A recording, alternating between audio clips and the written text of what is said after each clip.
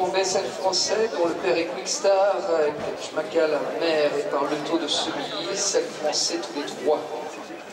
Euh, le RL, le Radio Géométrie, au sur la propriétaire, dans le Calvados, c'était d'Italie le Québec.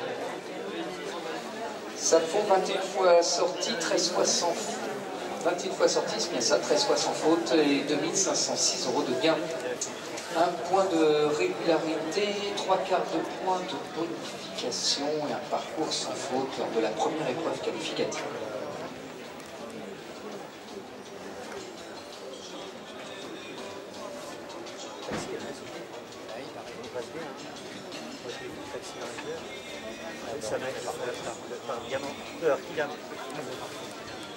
J'ai vu la vidéo de